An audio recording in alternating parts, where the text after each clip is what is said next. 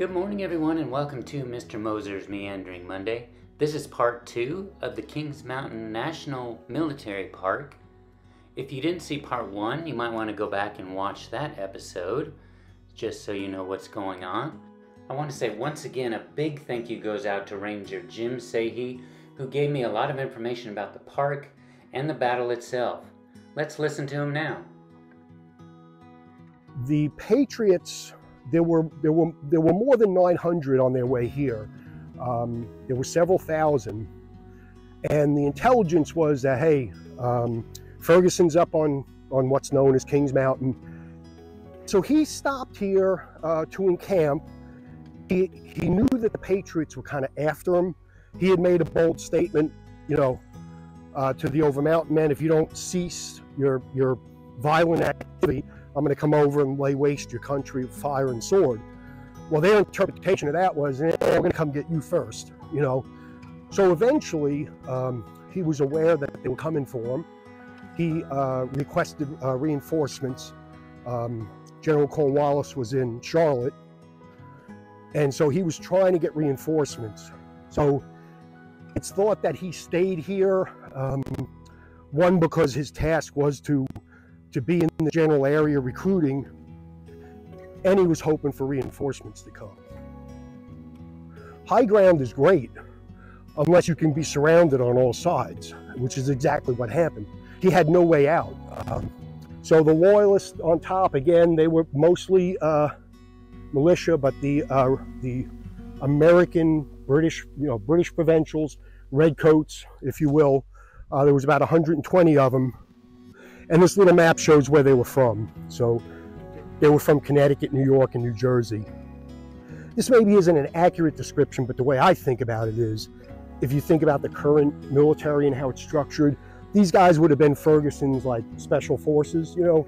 Uh, they would have been the ones training the militia. Um, and uh, there was three bayonet charges here down in this direction. And um, it was not a failed attempt, but after three tries, they gave up. Um, and what was happening was you, you had the British provincials charging down the hill at the Patriots. Now, again, the Patriots, it takes a minute to load their rifle, right? So, what's a Patriot going to do if he shoots and there's still this maniac running at him with a red coat and a bayonet.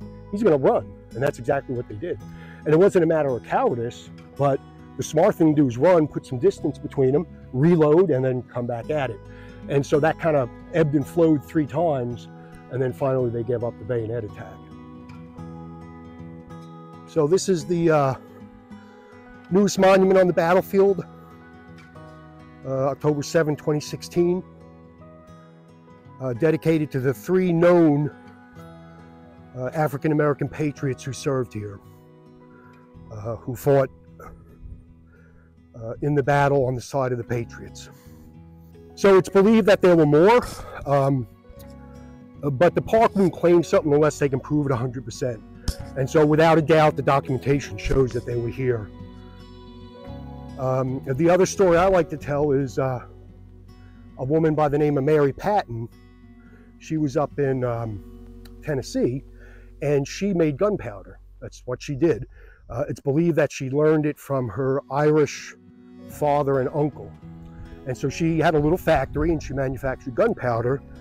And she actually supplied 500 pounds to the Patriots as they were coming down from Tennessee. And so 500 pounds of gunpowder is a lot of gunpowder that was used at this battle, you know. And so you think, well, we talk about the guys charging up the hill, they were brave. But if you ask me, Mary Patton was pretty brave because she would have, I would imagine she'd have been swinging from a rope if the British had, you know, caught her, you know. So um, those are some of the stories that, you know, we want to make sure that we're telling. So this is the Centennial Monument put up in 1880 for the centennial of the battle. And uh, it's aging, but it's it's holding up. Yep. So placed in 1880, uh, 28 feet tall, uh, the elevation we're at right here is 1,045 feet. And um, the difference in elevation from the highest point to the uh, visitor center is uh, about 180 feet. So we're probably at the, I believe this is the highest point. uh, on the battlefield. So the loyalists would have been positioned in this on this ridge line right here. Um, again, maybe not all of the provincials, but at least some of them were on this end, which is where the columns came from. And so that's why I'm sure the bayonet uh, charge happened in this area because it was where the where the largest mass of people was. Even though they broke into two columns, then two more columns, and surrounded on all sides, I would assume that they chose this place to do the bayonet charge just to uh, keep them from approaching on this smaller end of the mountain. You'll see that when we get down to the other end, it's much wider. Um, but you know, uh, after the, the, the bayonet uh, attacks uh, didn't really get the job done, Patriots were coming up. Now again, now that we're on the top of the mountain, you can you can picture the Patriots coming up on both sides, and you can see just how small the ridge line is. Um, and a lot of the loyalists were getting caught in the crossfire because you had you know Patriots coming up on both ends, and there was nowhere for them to go. The Patriots were coming up. Loyalists are getting caught in the crossfire, and they start heading down this way, probably out of lack of any other uh, option. Again, the mountain spreads out, gets uh, wider here. So uh, the battle lasted right around an hour. So it was pretty quick into the battle where the, the Loyalists started to push in this direction.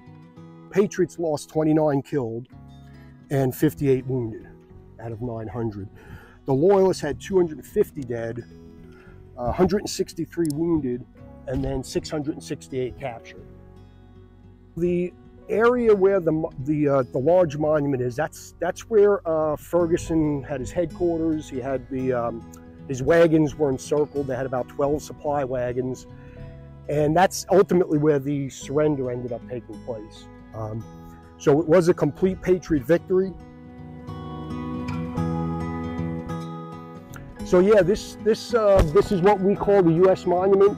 So it was dedicated in 1909 uh, 83 feet tall. The elevation here is 960 feet.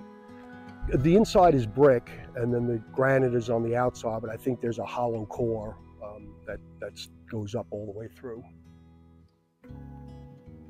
The DAR did a, a lot.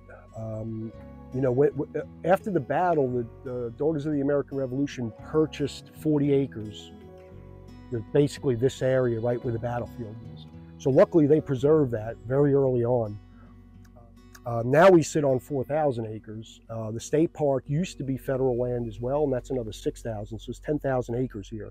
So, um, but as far as the actual battlefield goes, there's no telling what would have happened had it just, you know, remained farmland or whatever, you know. But uh, the DAR bought it and then, you know, preserved it. That was pretty early on, early 1800s. The sign on the monument says, On this field, the Patriot forces attacked and totally defeated an equal force of Tories and British regular troops. The British commander, Major Patrick Ferguson, was killed, and his entire force was captured after suffering heavy loss. This brilliant victory marked the turning point of the American Revolution. So here's uh, Major Patrick Ferguson. So um, that stone right down there is actually where he fell. Um, he was, um, again, he was injured at the Battle of Brandywine, so he did not have uh, use of one of his hands. So he um, would basically have a silver whistle, and his men were trained to understand the commands based on whistling. And he had a, a saber in his other hand. And uh, he did wear a red and white checkered hunting uh, frock or um, like what you see there. Um, they call it a duster. But yeah, he, he was shot, uh, some accounts say seven or eight times. He was, he was uh, really well thought of by his men. Uh, they called him the Bulldog just because he, he kind of knew how to get what he wanted and, and went about it. Uh, but he was good to his men, and um, he had a reputation for being a really good tactician. So I think even the other side, the Patriot side, had had a certain level of respect for him. But yeah, so he is buried down at the bottom of the hill. So you know, he had the, his two female servants. Uh, they were both named Virginia. Um, one of them was killed. Uh, she was trying to escape the battle. Uh, she's buried with him, and they, they've confirmed that. I want to say they dug it up in the um, late 1800s and confirmed that there's a, a, man and a woman's body in there. And then more recently, there was ground penetrating radar done. Uh, so they are both in there. After your tour of the battlefield, you can go in the visitor center. It also has a gift shop where you can get all sorts of items related to the battle hats, toys, books, etc. It also has a small museum that you can go through. You can even learn more about the people that fought in the battle, some of the artifacts, some of the weapons that were used, clothing, and more. And if you want to see a recreation of the battle, you can go into their small movie theater and watch a 26 minute documentary about the battle and the people involved. The name of the commander whose troops were butchered at Waxhaws by the British. Ferguson's men. I want to say thank you once again to Ranger Jim Sahi for the valuable information he shared with us today. I hope you enjoyed today's video and maybe learned a little something. So I want to wish everyone a great summer. I'll be coming back to you with more new episodes starting this fall. Have a great day.